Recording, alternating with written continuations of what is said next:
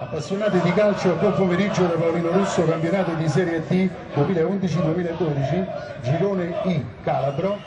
Campano, Siciliano, seconda partita di andata, non la licata, miracoli per l'azione di